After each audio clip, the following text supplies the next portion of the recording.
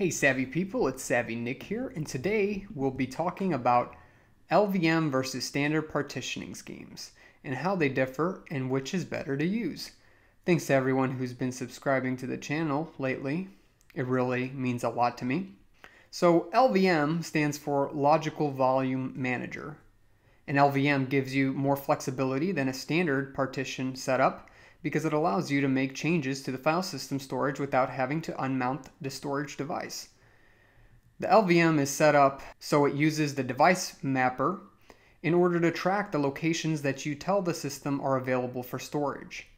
What I got here in front of me is two Ubuntu 1910 installs, one with the standard partitioning scheme and the other with the LVM partitioning scheme. The one in front of me here is the standard, so let's go ahead and take a look at what the standard partitioning scheme looks like. So we'll go ahead and boot up a disk utility here. So if we use disks, we can see what that kind of looks like. So as you can tell, we have one disk, which is the SDA disk. And in that disk, there is a device called SDA1 with 36 gigabytes of available storage. So I'll go ahead and scroll over to my LVM install over here and we'll do the same thing so we can look and compare and contrast these two.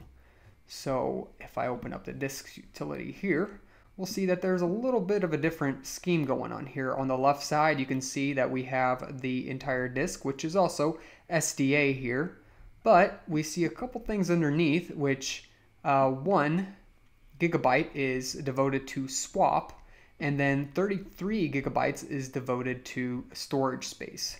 If you'd made it this far, go ahead and take a moment and hit the like button. It really does help me out. You can see that these storage spaces are formatted as ext format, and the swap is the Linux swap format. Where again, if we go back to the standard, you only have the one disk here. So in the standard way, the system only knows of the static available storage and it cannot change while the system is running. It's up to the user to go and remap what the storage looks like or repartition portions of the storage space in order to utilize more available space. Whereas if we look here at the LVM, it allows you to simply run through some commands and create or add on to the storage because it has a notion of such things as volumes. So now instead of just creating a single storage disk, you actually create multiple volumes. And then the device mapper allows you to create multiple volumes, really as many as you want, and in different storage spaces. It doesn't even have to be on the same hard disk. You could technically have multiple hard disks and have volumes existing throughout multiple hard disks. And that's why the LVM is so powerful because of this device mapper method, which allows you to really customize the storage however you want while it's even live. So where is this beneficial? Well, you could probably think of many places where it's beneficial, but imagine having a virtual machine or even a virtual server with a Linux distribution. You don't necessarily know how much space you'll need in the future, so you go ahead and pick how much storage space you want to have. Well, after a while in the standard, you might use up all that storage space, which normally in a virtual machine, it's very easy to go ahead and add more storage space. But what doesn't happen is Linux won't just pick up on that space automatically, even though you opened it up. So instead, it will be up to you to let Linux know that there's more available space. And to do so on the standard version, you would actually have to boot down the system, put in a live disk while the file system's unmounted, and then repartition the standard disk, which is not fun at all. And for people who don't want to get that involved, they would have to actually reinstall the entire base system in order to take advantage of the newly expanded space.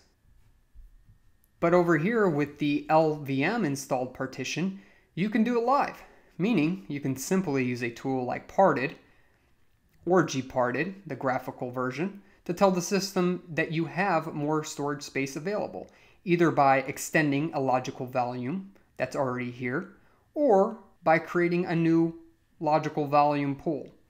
And again, you can do this all without unmounting anything. because of the device mapper. That's what makes LVMs flexible and powerful. It's a great scheme to use if you need that extra flexibility.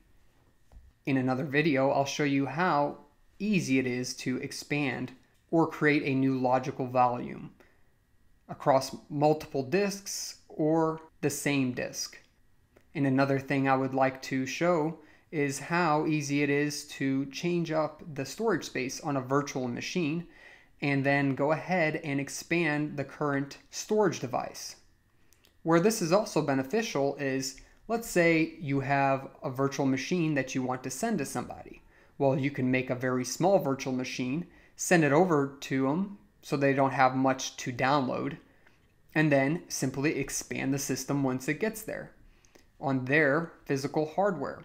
So it's really a great scheme to have, and I suggest it for most people. But if you do have a system that's simple and there's really only going to be one storage space that you plan on using, and you figure you're going to use the full storage space from the beginning, then the standard is fine. But if you have any reason to change up the storage space in the future, then you might want to look into a LVM partitioning scheme. It could save a lot of time and headaches, and most Linux distributions now have the availability to go ahead and install an LVM. The default, of course, for most Linux distributions is the standard because the assumption is that you're installing it on a fixed storage disk, possibly alongside another operating system. And that's one of the downfalls of using this LVM. If you do have another operating system alongside an LVM, it makes the disk space harder to map around because of the other operating system, such as Windows. But in most cases, it is more beneficial to the user than using the standard partitioning scheme. As far as performance goes, there's really no advantage to one or the other that I can think of. And that's really all there is to LVMs versus the standard partitioning schemes. So make sure to look out for LVMs and to go ahead and try them out if you're installing a new Linux system. It's a much more modern way of partitioning and gives you extreme amount of flexibility. I hope you enjoyed this Linux talk about LVMs versus the standard partitioning scheme. Let me know what you think about it and if you plan on using LVMs in the future. Of course, if you have any questions, comments, or suggestions, please post them in the comments section below. Also, make sure to subscribe for future videos and make sure to like the video. Thanks for watching.